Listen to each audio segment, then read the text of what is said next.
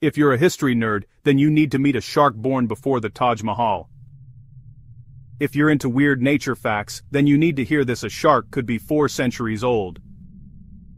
If you like impossible animals then you need to stick around, this one rewrites the clock.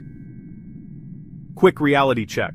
The 2016 science study used radiocarbon dating of eye lenses to estimate ages, and the oldest shark came in at about 392 years, plus 120 years. That means the best guess is about 390 years, but the range spans roughly 272 to 512, not a laser-precise birthday. New genetics work in 2024-25 found extra DNA repair genes and immune boosts that help explain this insane longevity.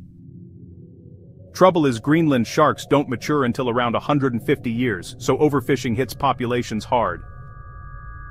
Bottom line, yes, these sharks are among the longest-lived animals on Earth, but individual ages are estimates, not certificates. Protect them, be amazed. Next time someone posts a 400-year-old shark pic, trust the study but respect the uncertainty.